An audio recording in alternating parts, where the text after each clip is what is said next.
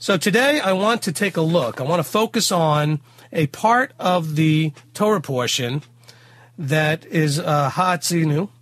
And the part of the portion I want to focus on in chapter 32 of Devarim is the five places where there's a reference to the rock. And it's very interesting that this would be something that would be referenced. It's very interesting that this is a metaphor that Yahweh uses.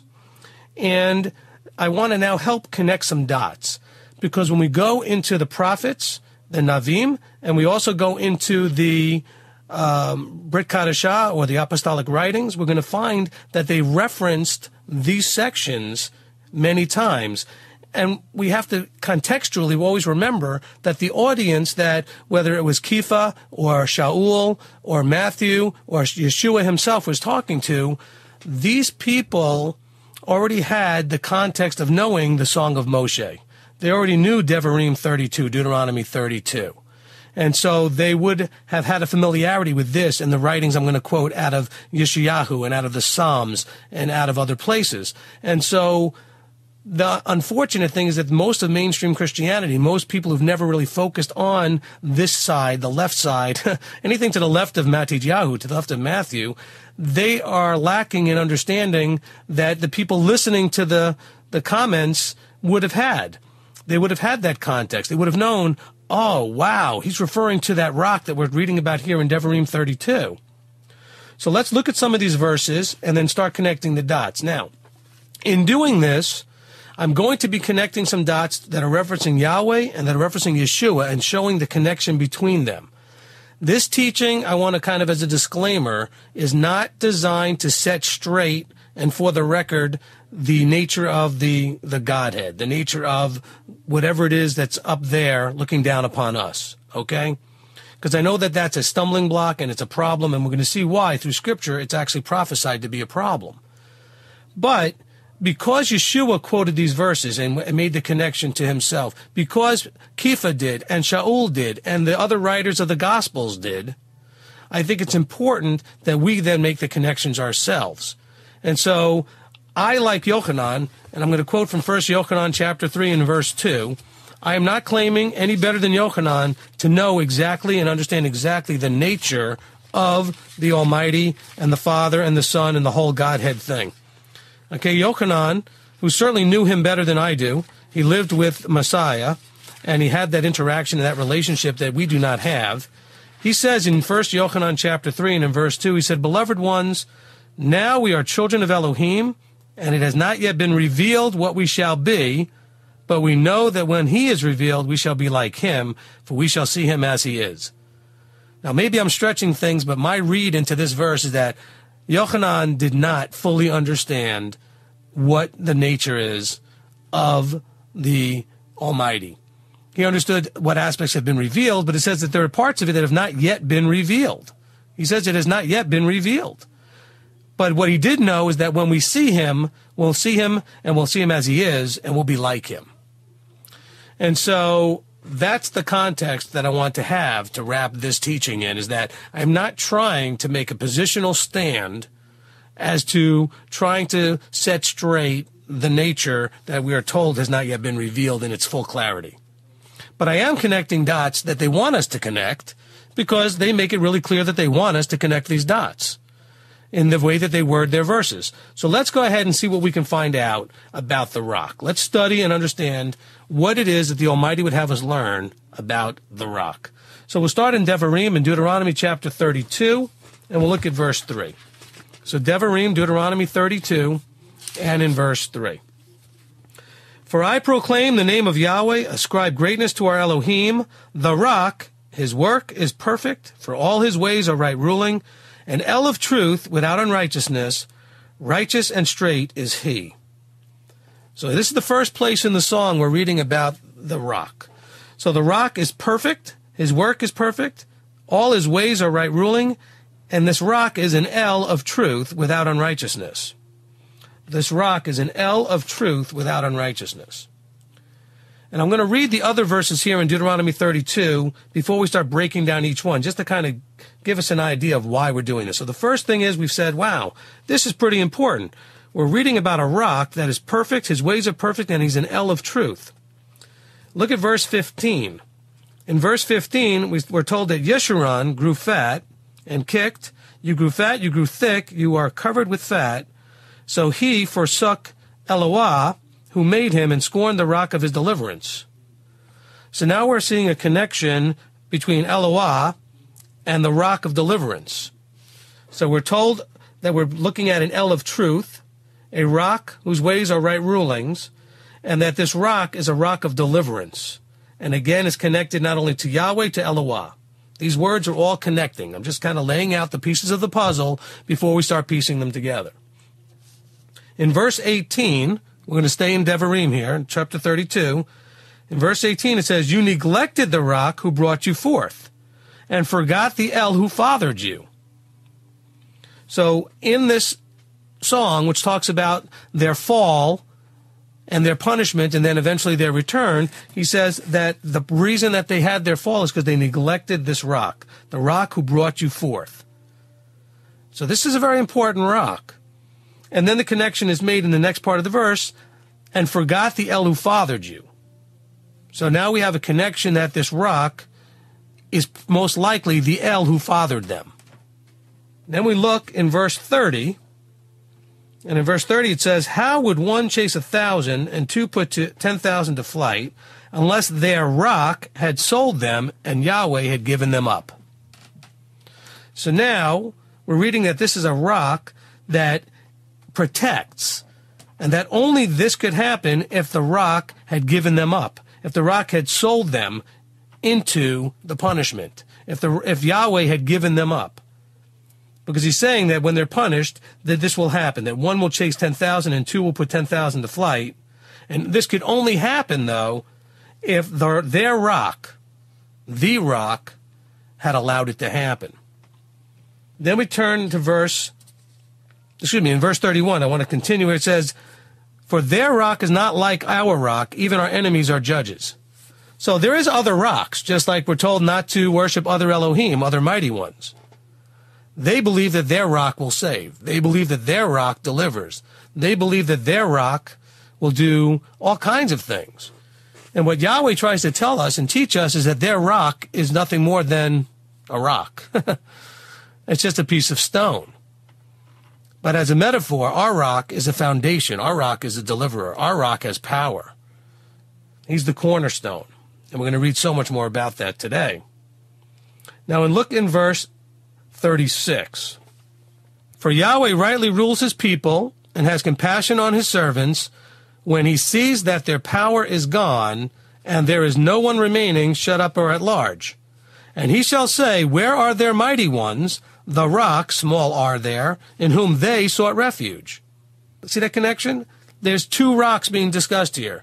The metaphorical rock of the Goyim, the Gentiles, the world, that are just made out of stone. And then the rock, capital R, which has the power to deliver. That's the one that has the right rulings and, and is an El of truth. The rock that is the one who brought them forth the one that, if he pulls his protection away, will allow us to be in the place where one would chase away a thousand and two ten thousand. There is now being mentioned really clearly, as always throughout Devarim, not to mention the rest of scriptures, Moshe is making this point that there is a difference between what they worship and who they worship and what they believe in and the fact that it is useless and has no power and who we worship and who we believe in who has all power. And so, in this song that Moshe was instructed to write, we find that the song has, you know, some 40 something verses to it. And then we have five, which is about, you know, one eighth of the verses, five verses that deal specifically with this rock. So I think we're supposed to be, you know, it's almost like Yahweh's beating us over the head saying this idea of the rock is real important. It's a metaphor I'm going to be using in the future. It's something that you're going to be looking forward to. So I want to make sure you get it clearly in your head. As a matter of fact, you know how you've listened to the radio sometimes or somebody will walk by and you'll hear a song and you can't get it out of your head? Well, this is the song we're not to get out of our head. Moshe sang this to the people so that they would never forget what he sang in this song. And part of that song was to be fully embracing their rock, not the world's rock. The rock with a capital R, not the rock with a small r. Okay? Now, let's start to break this down into some component pieces. Let's start in 1 Corinthians chapter 10 and verse 1. In 1 Corinthians chapter 10, and what we're going to do is we're going to look at some verses from the Brit Hadashah, from the apostolic text, and show how when they were talking about things regarding Yeshua, that they were connecting him to the rock here from Devarim chapter 32. In 1 Corinthians chapter 10 and in verse 1, it says, For I do not wish you to be ignorant, brothers, that all our fathers were under the cloud and all passed through the sea. And all were immersed into Moshe in the cloud and in the sea, and all ate the same spiritual food, and all drank the same spiritual drink, for they drank of that spiritual rock that followed, and that rock was Mashiach. However, with most of them Elohim was not well pleased, for they were laid low in the wilderness, and these became examples for us so that we should not lust after evil as those indeed lusted.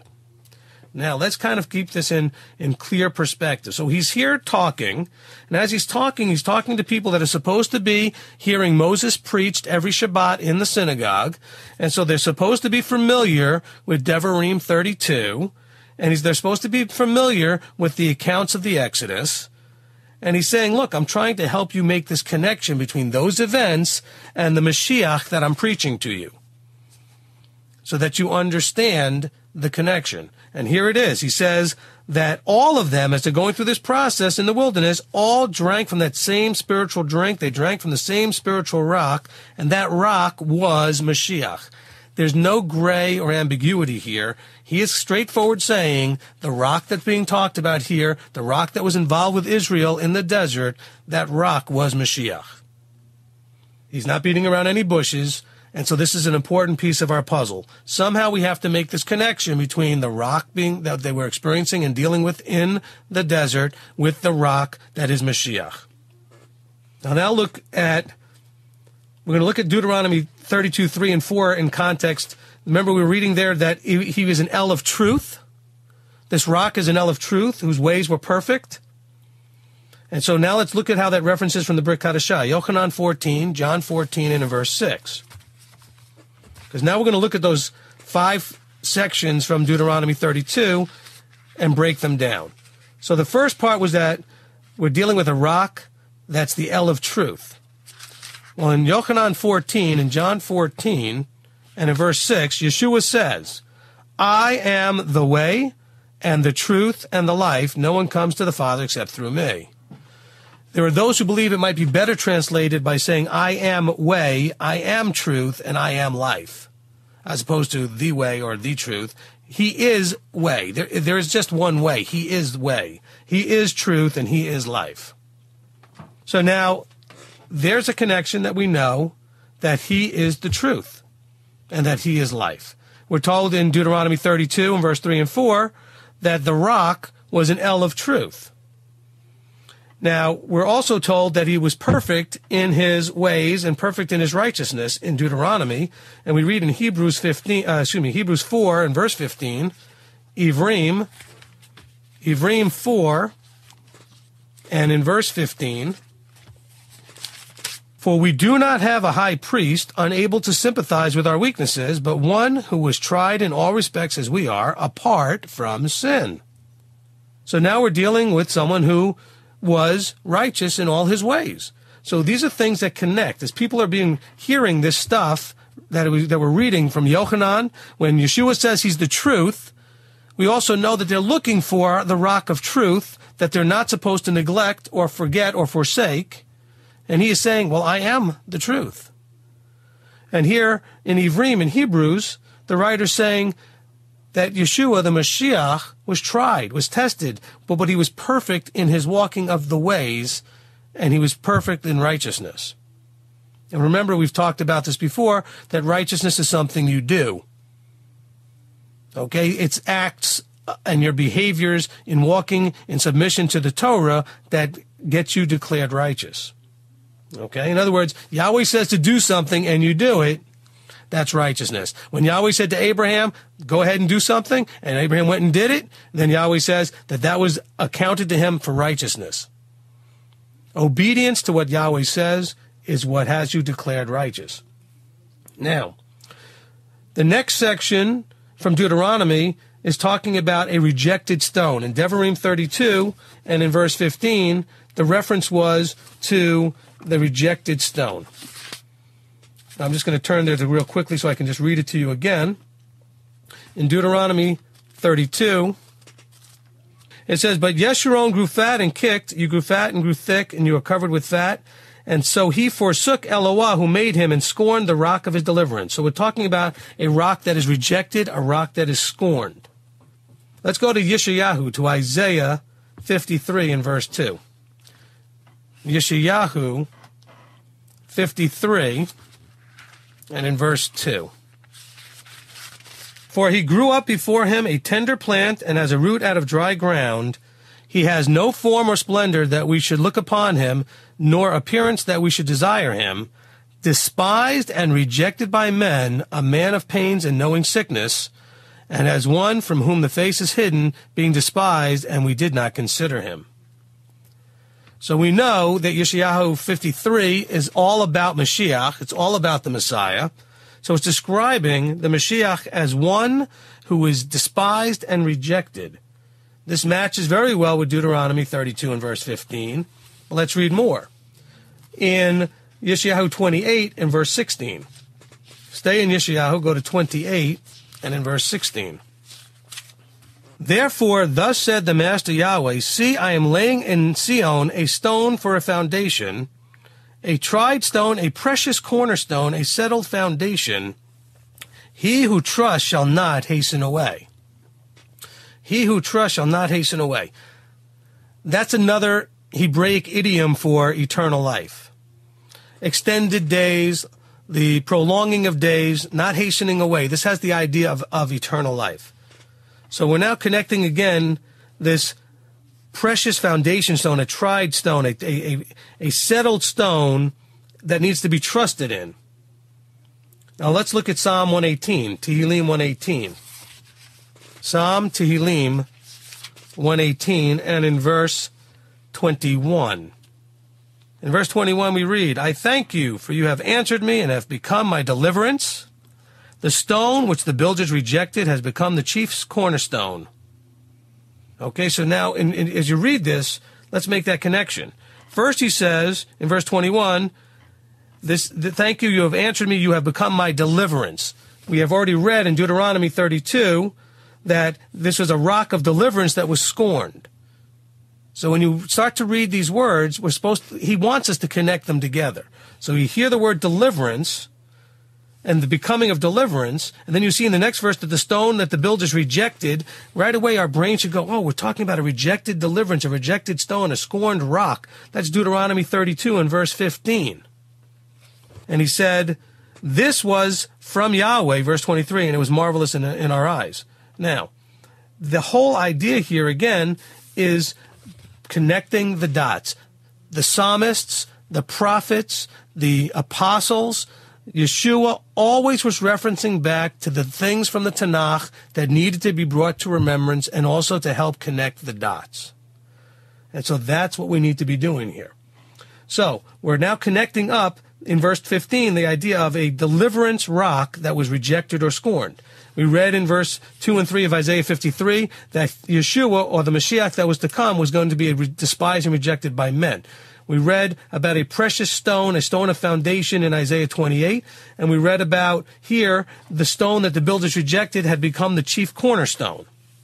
Now let's take all that, that context that we just laid out there, and look at Matthew 21. Turn to Matthew 21 and read the words of Yeshua in Matthew 21 in verse 33. Matthew 21 and in verse 33. Here another parable. There was a certain man, a householder, who planted a vineyard and placed a hedge around it, and dug a winepress in it and built a watchtower. And he leased it to farmers and went abroad. And when the season of the fruits drew near, he sent his servants to the farmers to receive its fruit. And the farmers took his servants and beat one and killed one, and they stoned another. Again he sent other servants more than the first, and they did likewise to them. And at last he sent his son to them, saying, They shall respect my son. But when the farmers saw the son, they said among themselves, This is the heir. Come, let us kill him, and let us possess his inheritance. And they took him, and they threw him out of the vineyard, and killed him. Therefore, when the master of the vineyard comes, what shall he do to those farmers? And they said to him, Evil ones, he shall bring them to evil destruction, and lease the vineyard to other farmers, who shall give to him the fruits of their seasons. Yeshua said to them, Did you never read in the scriptures, the stone which the builders rejected has become the chief cornerstone? This is from Yahweh, and it is marvelous in our eyes. We just read that verse from the Psalms. From he was quoting directly Tehillim 118. So let's look at what he's talking about here. He's quoting and saying, you know what? This parable is about the people. And, he, and, and Yahweh called the people and placed a hedge of protection around them. He gave them the Torah. The Torah is a hedge of protection. And he gave them this hedge of protection and he gave them a watchtower. And there's so many references in scripture, we don't have time to go into any of them at this point, about the watchman and the watchtower and being a watchman on the wall. And so he had set watchmen on the wall. And then when it was time, he sent out the prophets. And what do we read in scripture? And Yeshua scolds them for this as well. He says, there wasn't a prophet you guys ever saw that you didn't kill, that you didn't reject. And yes, they did this to prophets. They stoned them. They killed them. And then he said, even at some point, finally, the father sent his son. Obviously, he's directly referring to himself here, and that they would again do the same thing to him that they did to the prophets, which is reject him and then to kill him. But see how he makes the connection, though. After saying all of that, he's trying to connect and say, remember, now his audience is 100% Jewish. He is not preaching to the rest of Israel. He is not preaching to the Goyim. He is in the land that at this point, the only audience he would have would be Jewish people. Okay? And the Jews at the time who would have known the scriptures, okay, they would know what he was referring to when he said the stone which the builders rejected had become the chief cornerstone. They would absolutely, these, these are all people who are from the tribe of Judah, or at least from the kingdom of Judah. So they could have been from other tribes but had thought of themselves as Judah, because they were from the, the southern kingdom that had returned from the Babylonian captivity. And they would have been studied in the verses, and they would have been knowledgeable about Psalm 118 and the other verses in Yeshayahu that we read in Isaiah. And I'm sure they would have been astounded as he's sitting there and he's teaching them and he's connecting these dots to this stone, to this cornerstone, this precious cornerstone. Now, this is in the context. I want you to then keep that in your mind. And now let's read what Paul had to say in Ephesians chapter 2 with all of this that we just read in mind and see how Rav Shaul connects the dots. Ephesians chapter 2 and verse 19. Ephesians chapter 2. And in verse 19, he says, So then you are no longer strangers and foreigners, but fellow citizens with the set apart ones and members of the household of Elohim. Here's the context. Now, you ready? Having been built upon the foundation of the emissaries and prophets, Yeshua Messiah himself being the chief cornerstone in whom all the building being joined together grows into a set apart dwelling place in Yahweh, in whom you are also being built together into a dwelling of Elohim in the Spirit. So here is Rav Shaul, who would have been more knowledgeable about the verses I quoted than probably anybody else walking around at his time. And he's quoting this to the Ephesians to give them an understanding as they've been studying. They've probably been doing the weekly Torah portion. They've been learning about Moses. They've been learning about Torah. They've been learning about everything from the Tanakh. They've been reading from the prophets. And he's trying to connect the dots saying, see, when we walk through this whole process, you are no longer strangers and foreigners, but you are now fellow citizens but not just citizens of anything, but you're citizens and members of the household of Elohim, which is built a certain way. It's built on the foundation of the emissaries, the prophets, the writings, and Yeshua being the chief cornerstone. See, this is the biggest problem for those who are from Judah and those who are from the, the scattered Goyim and the nations of the Israelites, the, the Ephraimites, whatever word you want to use for the lost 10 tribes and the rest of the world that's out there. The problem is they're not connecting the dots here. Okay? The Jews are looking for a Mashiach to come that has not come yet. They are not accepting that Messiah has come. They're not accepting that he is the chief cornerstone. They don't understand that. On the other hand, those who are in the churches, those who have been scattered that are coming back and seeking the Almighty, but doing it through a Christianized mindset, they've rejected the cornerstone because Yeshua is the walking, talking, living Torah. We talk about this every week. And so they rejected the structure of the house that they're, they're supposed to be dwelling in. This house is built with the teachings and instructions of the Almighty. It's built on that stuff, and Yeshua being the chief cornerstone of it. And so when they reject Torah, they're rejecting the chief, the chief cornerstone. And again, for those who maybe haven't heard it, and we do it every week as a way of reminder, the three verse loop. Yeshua said, I am the truth. We read that already in Yochanan 14, 6. In Psalm 119, verse 142, we're told that the Torah or the word is truth, that the entirety of the word is truth in verse 160 of Psalm 119. And then we're told in chapter 1 of John, of John in verse 14 that Yeshua, the Word, was made flesh and dwelt amongst us.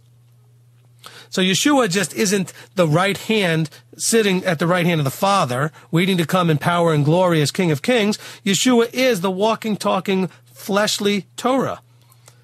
He is the Torah in its ultimate fulfillment. It is the goal of the Torah for us to become like Yeshua. And so he is the foundation, the cornerstone of all of this so that we can be built. And it says joined fitly together to grow into that set apart dwelling place in Yahweh. But yet we're told by Moshe, by the prophets, by the writer of the Psalms, in all these other places that we have this problem. We have this tendency to reject the stone, to despise the stone, to write off the stone as being insignificant and it's very sad. It leads to all the cursing. I want to look now at Yeshua as the foundation of the house. Because we just read this, that he's the cornerstone of the building. Matthew, Matthew chapter 7 and verse 24. Yeshua is that foundation of everything that we do and everything that we believe, as described both consistently from the Tanakh, the prophets, the writings, and the apostolic writings of the Hadashah. Matthew chapter 7 and in verse 24. The beauty is how consistent this message is everywhere you look in Scripture.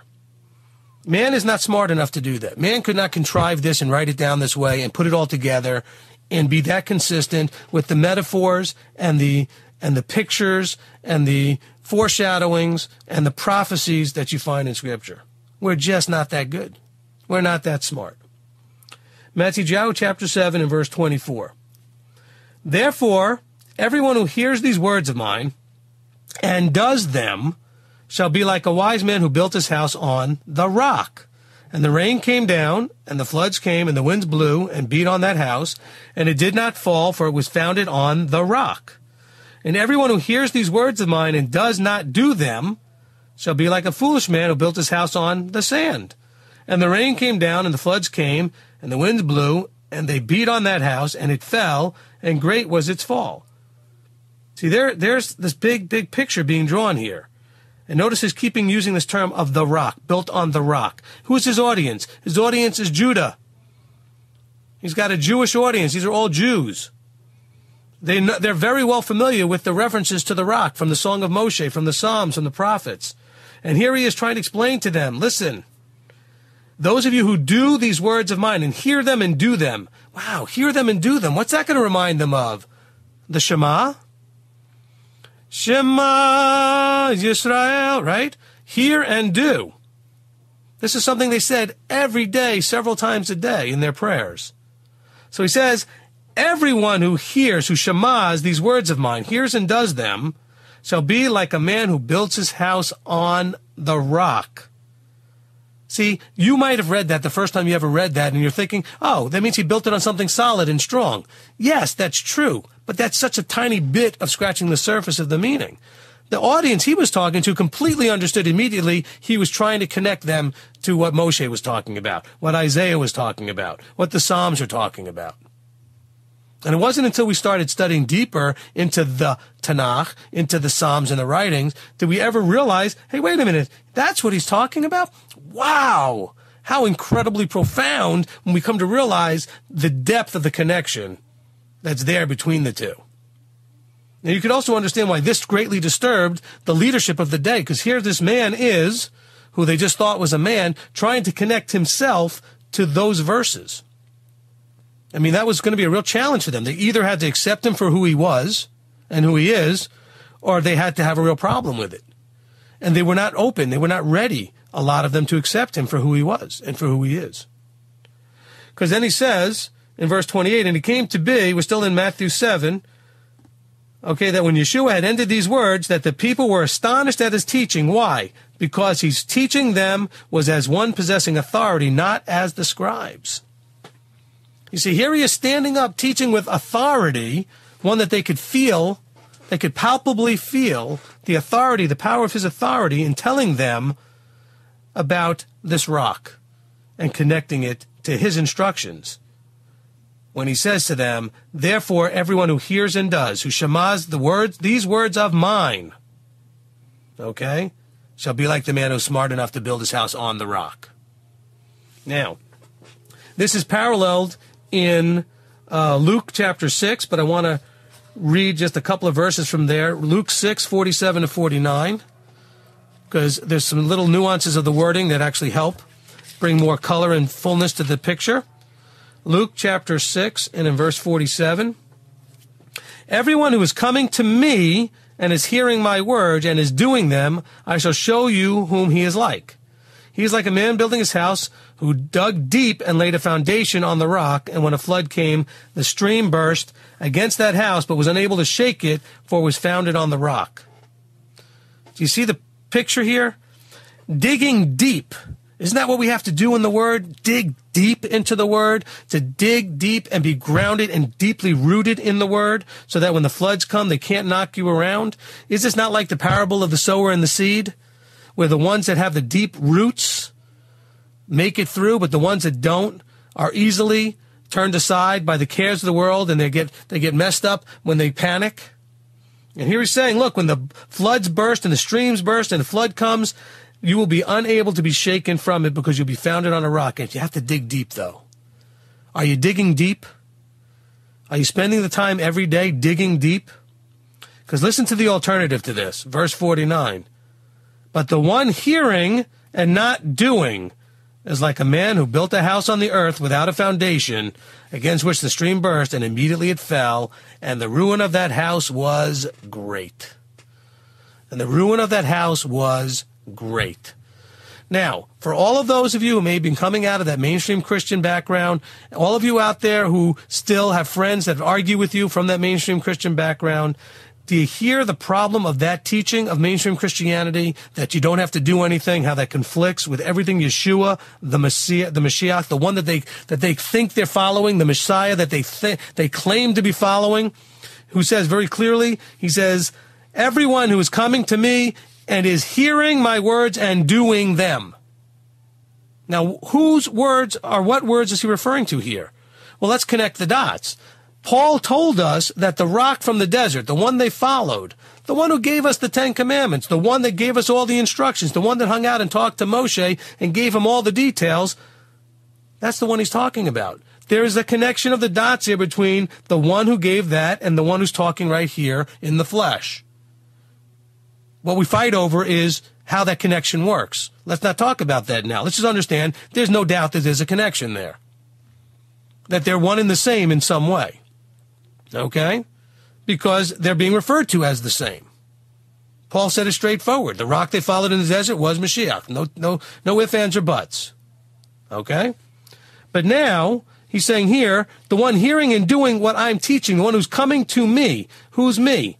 The Mashiach. Who's me? The Torah. The one who comes to the living, walking, talking Torah and hears the Torah and does the Torah is built on a solid foundation and can be then declared righteous. He says, but when you don't do and hear, excuse me, don't do what you hear me saying, well, it's foolish and you're just going to get wiped away with the flood. The waters are going to burst and just wipe you away. And it says, and great will be the ruin of that house. Great will be the destruction and ruin of that house. First Corinthians chapter 3. First Corinthians chapter 3. And we'll look at verse uh, 10 through 15 here. 1 Corinthians chapter 3 verse 10. According to the favor of Elohim, which was given to me, a wise master builder, I have laid the foundation, and another builds on it, but each one should look how he builds on it. Okay, so here's Shaul saying, look, according to the favor that Yahweh gave me, as a wise master builder, I've laid the foundation and another builds on it. So he said, look, I've, I've, I've laid out Yeshua for you. I've laid out the Torah for you. I've laid it out for you. I've, I've put it out there for you. He says, because no one is able to lay another foundation, verse 11, except that which is laid, which is Yeshua Messiah. So again, he's completely connecting the foundation, the foundation that we read about that was rejected, the chief cornerstone, the stone for a foundation from Isaiah 28, we have all of these connections here, and here again, Rav Shaul is connecting them, and he said, look, there's no one is able to lay another foundation except that which is laid. So it's something that's already there. It's already been laid. You don't go and create your own new one in your own image or, or just make one up for yourself. There is only one foundation, one true foundation, and it is Yeshua Mashiach. He says, and if anyone builds on this foundation with gold, silver, precious stones, wood, hay, and straw, each one's work shall be revealed for the day shall show it up, because it is revealed by fire. And the fire shall prove the work of each one, what sort it is. If anyone's work remains, which he has built it, excuse me, built on, he shall receive a reward. If anyone's work is burned, he shall suffer loss, but he himself shall be saved, but so as through fire. Do you not know that you are the dwelling place of Elohim and that the Spirit of Elohim dwells in you? Are we following what he's talking about here? It's very, very important. He says here, that if anyone builds on this foundation, whatever you build is going to be tested and proved. Tested and proved. Wow, there's something about that sounds so familiar. Tested and proved. Tested and proved. Oh, wait a minute. Deuteronomy chapter 8 and verse 2. In Devarim 8 and verse 2, we're told that they were led through the desert for 40 years to humble them, to test them, to prove them, to see whether it was in their heart to keep the commandments or not. Deuteronomy 8, 2 and 3. It's a verse we quote all the time. So here he's telling you, look, I'm teaching you the same thing that, Dever- that Devarim is telling you, that Moshe told you. You're going to be tested to be proven to see whether it's in your heart to keep the commandments or not. And it's going to be tested by fire. That's why we're to- told by Yaakov, you know, to count it joy in your fiery or various trials. And so it's going to all be burned away. Now, there is a connection here that gets confusing for people in verse 15 where it says, if anyone's work is burned, he shall suffer loss, but he himself shall be saved that only works if the person who suffers loss learns from what was, was suffering, learns from why he lost, and then teshuvahs, or returns or turns around and returns to the path of the Almighty, to walk in all his ways. See, that's the purpose of trials and fire, is to get your attention. Fiery trials are there to get your attention, to test you, to prove you, so that you can get your attention awakened and sparked so that you can be realize that maybe you're not doing things the way you need to be doing them so that you can make the necessary changes. Yahweh loves you enough that it says that like a father chastens a son, he chastens you. Why? He needs to get your attention so ultimately you will be safe. When a father gets the attention of his son, he knows that if I don't get the attention of my son now, something more dangerous and, and more critical is going to come up in his life that I may not be able to save him from. So I need to, I need to get his attention now. And the same thing with the Almighty. He needs to get our attention now. And so he lets us go through these situations because he, he needs to wake us up. So we're told clearly here there's only one foundation that can be laid, and that foundation is Yeshua Messiah.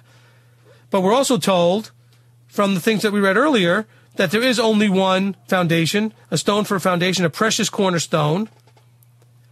And so, again, we're told to make these connections.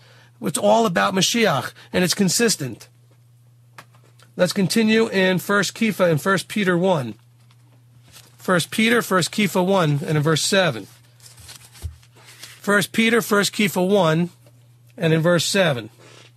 Here it says, In order that the proving of your belief, much more precious than gold that perishes and proven by fire, might be found to result in praise and respect and at, this, and at the revelation of Yeshua Messiah. See the connection, how consistent that is with what Shaul just said? You know, Paul told us in Corinthians, and now Peter's telling us in his own writing here in his letter. He's saying, look, your belief is proved through the testing of fire. Because if you built on a foundation, if a trial comes upon you and you've dug deep and you've laid yourself, a built yourself a, a, a house, you've built your life on a solid foundation that's been dug deep, the trial is only going to be painful. It's not going to take you and wash you away into oblivion. Is that making any sense? They're saying the same thing. He said, the proving of your belief, which is more precious than gold, that perishes, I mean, you know, gold, you stick it in the fire. Eventually, it's just going to melt and disappear on you. It's going to turn to liquid and, and, and pour away. He said that it may be found to result in praise and respect and esteem at the revelation of Yeshua Messiah. This is the key. It all fits together. Lay the right foundation. Build and dig deep your foundation. Place it deep and then build a solid building on that foundation so that you will not be blown away, knocked over, washed away, or swept away this is, you know, we're told that people get swept away, away by every wind of doctrine. Well, not if you're built on a solid foundation, you're not. Not a, the wind can blow all it wants against a solid foundation and you're not going anywhere. That's the problem. That's the key. We have to be built on a solid foundation. Matthew chapter 16. Let's go to Matthew, Matthew chapter 16. And in verse 13. Matthew 16 and in verse 13. Now, when Yeshua came into the parts of Caesarea Philippi, he asked his taught ones, saying, Who do men say the son of Adam is? And they said, Some say Yochanan the Immerser, others say Eliyahu, and others Yirmiyahu or one of the prophets. And he said to them, And you, who do you say that I am? See, notice that he just made the connection. First he said, Who do they say the son of Adam is? But in case we're not sure who he's referring to, he now turns around and says, Well, who do you say that I am? And Shimon Kepha answering said, You are the Mashiach, the son of the living Elohim. And Yeshua answering said to him, Blessed are you, Shimon Bar Yonah, for flesh and blood has not revealed this to you, but my Father in the heavens. And I also say to you that you are Kepha, or a Kepha, a small pebble, but on this rock I shall build my assembly, and the gates of the grave shall not overcome it. What rock? The rock of the foundation of the, the, the, cornerstones. See, this is where everybody gets so messed up with the churches. They think, oh, he's building a church. He's setting a new thing. He's building a whole new deal here on Peter. No, the metaphor about the rock is consistent all the way through scriptures. And the reference to the rock is consistent all throughout scriptures. He's saying on this rock, what rock? The rock that I am the Mashiach, the rock of understanding that I am the chief cornerstone, the rock of understanding that I am the foundation. He says, on that rock, I am going to build my assembly, my kehilah, and the gates of the grave shall not overcome it. This is the key. This is the key. The rock is the understanding that he is the rock. On this rock, the rock of understanding that I am Mashiach because all the time you know, the churches are all saying, "Oh, we are the church. We are the you know we're built on the rock, and Peter's the rock. He was given the keys because the next verse says, "I shall give you the keys." What are the keys of the kingdom? Okay. The keys of the kingdom are understanding the truths. What are the truths? The truths are in the words of Yahweh, the words of Yeshua. They're in everything that flows out of the mouth of the Almighty. Because that's the keys to heaven. That's the keys to our future. That's the keys to eternal life. It's very important that we understand this. But again, we have this reference to the rock. And Yeshua, again, talking to them, knew that they would have to connect up that word to what they've already known about and we're looking for and seeking to find and look for that foundational chief cornerstone. Let's look at Isaiah chapter 8 and verse 13. Yeshayahu 8 and verse 13. Yeshayahu chapter 8 and in verse 13. Yahweh of hosts, him you shall set apart, let him be your fear, and let him be your dread. And he shall be for a set apart place, but a, fa- a stone of stumbling and a rock that makes for falling to both houses of Israel as a trap and a snare to the inhabitants of Jerusalem. And many among them shall stumble and fall and be broken and snared and taken. Now, listen to this. This is key. This is huge. It says, Yahweh of hosts, him shall you set apart. And then verse 14 says, and he shall be for a set apart place and, and a stumbling block and a rock that makes you fall. So now we're told that Yahweh is that rock. Yahweh is the rock that causes stumbling to both houses of Israel, the house of Judah and the house of Ephraim. And we're also told that somehow, some way, in some form, You guys want to argue about it, argue about it all you want. Yeshua is Yahweh. I don't know how else you can make the connection in any other form. I don't want to get into a big debate, but here we're told that Yahweh's a stumbling block. We're told very clearly everywhere else that Yeshua is that rock, that the rock that they're built on, the rock that's a rock of stumbling, the cornerstone that they despised, that's Yeshua. But we're also told it's Yahweh. But notice this, it's a stumbling block to both houses. How is it a stumbling block to both houses? Well, let's see. Yeshua, the chief cornerstone, the rock, is a stumbling block to Judah, because the house of Judah doesn't believe or accept him as Mashiach. That's a big stumbling block for them. Seeing him as Mashiach is causing them a tremendous problem. And it's a tremendous stumbling block that they're having trouble getting over. They're tripping over that. It's causing them to stumble in their walk because they can't see Mashiach having already been here in the flesh. How is it a stumbling block for Ephraim, for the other house, the house of Israel, the lost tribes? Well, most of them are scattered and in the churches. They don't see him as Torah. They don't see the truth, the walking, talking, living Torah. They're tripping and, and stumbling over a Greek Romanized, you know, sort of very pagan looking Jesus, uh, as opposed to the truth, the Torah, living flesh, walking, talking, the Devar, the Word made flesh, which is Yeshua. They can't see the walking, talking Torah. They think Jesus set them free, that the law was done away with, that all of that was for them and not for us, and all this other stuff. They're tripping and stumbling over the truth of Mashiach, the foundation stone. This is, this is where they're falling. Then where are we as the Messianics in the middle tripping? And it doesn't mention it here in this verse, but you know where we're tripping? We're tripping over arguing over the nature of Mashiach, the nature of the Godhead, because we, we can't, we can't figure out and fathom how Yahweh and Yeshua can be the same. We're having trouble understanding, well, how can this be referring to Yahweh, but also being referring to Yeshua? Now, I've got an idea of how that works, but that's just my idea of how it works. And you've got an idea of how that works, and that's just your idea of how that works. And it doesn't necessarily mean that I'm right and you're wrong or you're right that I'm wrong. But what I'm saying here is we need to embrace what it's talking about here and not be arguing over something Yochanan said, look, we don't fully get all this. Why are we arguing over it? Why do we allow it to be a stumbling block? Do you, brethren, understand how many congregations are dividing and splitting over this?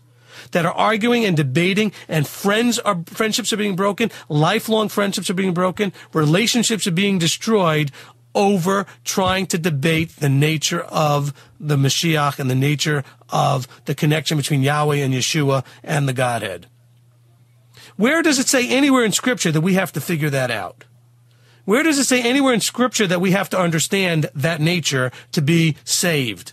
Where does it say anywhere that we have to understand everything about what's not in the three dimensional fleshly world in order to be in the kingdom? See, we're told to keep the Sabbath, honor mother and father, not to murder. We're told to eat kosher. We're told not to eat those other things. We're told to keep the feast. We're told how to love our neighbor as ourselves. We're told all these things are what we need to do. We're told in Matthew 25 in the sheep and the goats to feed the hungry, clothe the naked. These are all things that are three dimensionally on our level. We're also told to believe in the Almighty which we cannot see. We're also told to worship the Almighty, who we cannot see. We're also told to praise the Almighty, who we cannot see. But it never says anywhere that we have to understand the full nature of that Almighty. What we are to understand is that He is the rock, that He is the foundation, that Yeshua is the foundation, and that He is the chief cornerstone that's a stumbling, and that He is the despised and, despised and rejected cornerstone. We have to understand and accept these parts but we don't have to understand and accept and under uh, the details of that which can be what that was, that is, and is to come. How do we understand that? How do we understand something that was, is, and is to come? How do we understand something that is outside of time? How do we understand something that always existed? How do we? Un- we can't. So why? I don't. I don't get the whole argument. I don't get why it's so important. Okay? I just don't get it. I know people that are Trinitarian. I know people that are not Trinitarian. I know people that are completely only about one, and there are people that believe in two. They argue all about the nature of what's, what the Godhead is made out of. And I don't see where scripturally it makes any difference whether you get it right or not. You are, you are to worship the Almighty. You are to accept Yeshua as Mashiach, and you are to follow and obey and be submissive to the Torah. I don't get anything else other than that. You know, Paul said, I just came to preach Yeshua and Him crucified, and that's it. In other words, and all of the other ramifications that go with that. I don't see any of the apostles spending a whole lot of time trying to define the Godhead for anybody. And so we need to stop that. It's destroying the body. Yochanan 17 and in verse 21 and 23, Yeshua says, Father, I wish that they were one as we are one so that the world would know that you sent me. And then he says it again in verse 23, the same thing. Slightly different wording, but essentially the same thing. Father, I want them to be one as we are one so that the world understands that you sent me. That's what we need to have the world see. And we're fighting amongst each other and splitting and dividing and breaking relationships over our best guess of the nature of the Godhead, which by the way, I don't care what you think you figured out out of scripture, you're only guessing, okay? There is no scriptural verse that says, comes straight out and says, this is the nature of that which you can't understand because it's in a whole nother level than where you are. So you're guessing. So why break fellowship and relationships over your guess? It makes no sense. We need to stop doing that. You know, Titus, Paul tells Titus, he says, arguing over Torah, arguing over the God, Godhead, arguing over all this stuff is unprofitable and fruitless. It's completely unprofitable and pointless. We shouldn't be doing that. Now, if he's telling us not to argue about the Torah, which we actually have written instructions for, we certainly shouldn't be arguing about something that we can't even connect to. How do we connect to the creator of the universe somehow being in flesh, somehow dying, and then some people say, well, oh, but, you know, God can't die. Okay, well then somehow somebody had all this power, came and died, and then was resurrected, and now is sitting at the right hand of the Father with all power and glory. How do we understand all this? And why do we argue about it with such, such conviction and venom? Like, if you don't see it the way I do, I can't possibly have a relationship with you. This is insanity. This is just pure insanity. This is, this is making the father probably cry when he watches his children fight over this stuff. What matters is, as long as we understand Yeshua is Mashiach, that Yeshua came and did what he was supposed to do, and that he's going to come and finish what he started, that's all that should matter. And when I'm in a room full of people and I ask everybody, do we all believe Yeshua is Messiah? And they all raise their hands. Do we all understand that he came and died and on the third day was resurrected and is now sitting at the right hand? They all raise their hand. And when I say, and he's going to come back in power and glory as King of Kings and, and, and Master of Masters, and they all raise their hand, yet there's still full, a room full of people that disagree about the Godhead. So then why are they disagreeing about anything? It doesn't say anywhere in Scripture we have to have all that. Okay? And so, the first John 3, which I quoted you earlier, is exactly the point. In First John 3, where he says, Look, I don't fully get it. And let's face it, John was there. He's the beloved disciple. He's the one that was that was so close with Yeshua that you think certainly he would get it. And John says, No, I don't. I don't really get it, not completely. I just know that when he is revealed, we'll be like him. Because then and only then will we finally see him as he is. Right now, we're not seeing him completely as he is because we just don't have enough information. We're looking through the glass darkly. Okay? We're looking in the glass darkly. But what we do need to understand and we do need to embrace and we do need to focus on is that we are to embrace the living stone, the living cornerstone, the stone of stumbling, and not let it be a stumbling block. Let's read before we wrap up here one last verse in 1 Peter chapter 2. In 1 Peter chapter 2. First Kepha, First Peter chapter 2. And in verse 1. Having put aside then all evil and all deceit and hypocrisies and, and, and envyings and all evil words, as newborn babes desire the unadulterated milk of the word in order that you grow by it. If indeed you have tasted that the master is good, drawing near to him a living stone, rejected indeed by men, but chosen by Elohim and precious, you also, as living stones, are being built up a spiritual house, a set apart priesthood, to offer up spiritual slaughter offerings acceptable to Elohim through Yeshua Messiah. Because it is contained in the scripture where it says, See, I lay in Zion a chief cornerstone chosen precious, and he who believes on him shall by no means be put to shame. We read that. This precious excuse me, this preciousness then is for you who believe, but to those who are disobedient, the stone which the builders rejected has become a chief cornerstone, and a stone of stumbling and a rock that makes for falling, who stumble because they are disobedient to the word to which they also were appointed. They stumble because they're disobedient to the word, not because they haven't been able to figure out the nature of the Godhead. Okay? There's no verse that says figuring that out is required for salvation, for entering into the kingdom. He says, But you, he says, You, verse 9, are a chosen race, a royal priesthood, a set apart nation, a people for a possession, that you should proclaim the praises of him who called you out of the darkness into his marvelous light, who once were not a people, but now the people of Elohim, who had not obtained compassion, but now obtained compassion, which is a quote directly from Hosea. Beloved ones, Verse 11, I appeal to you as sojourners and pilgrims to abstain from the fleshly lusts which battle against the life, having your behavior among the Gentiles good, so that when they speak against you as evildoers, let them, by observing your good works, esteem Elohim in a day of visitation. So what is he saying here? He says, look, you need to embrace the Torah. You need to embrace Yeshua. You need to build your foundation, the stone, the rock that is a stumbling block to those who do not understand. He says, and then because you're on that foundation, do not give in to the fleshly lusts of the world. He says, which battle against life. He says, have your behavior be what it needs to be, even though they may be speaking against you and talking against you and accusing you or judging you or mocking you. He says, but by observing your good works, they may esteem Elohim in a day of visit, excuse me, in a day of visitation. This is key. This is key. Brethren, listen. I want to exhort, I want to encourage, I want to just stir you to the deepest part of your foundation to embrace Yeshua, the rock in the desert, to embrace Yeshua, who is the way, the truth, and the life, to embrace Yeshua, he is your rejected stone. Do not reject him. Embrace him. Embrace the rejected stone, which, the, which is the chief cornerstone, which the builders rejected. Build your foundation, which Yeshua is the foundation of your of your of your house. Build it deep, dig deep that foundation and place it deep. Yeshua will return, and when he returns, he's going to smash the kingdoms of this world and restore the kingdom of Israel, where he will reign from the New Jerusalem as King of Kings forever and ever. We didn't read the verses in Daniel, which we didn't have time for, but we could have, where it shows that that rock will come and smash the kingdoms of this world. So let us not neglect the rock who brought us forth, and let us be found hearing and doing his words. B'Shem Yeshua HaMashiach, in the name of Yeshua Messiah, I, I say this prayer for all of us. Amen and Amen. I hope this teaching, as always, was a blessing to you.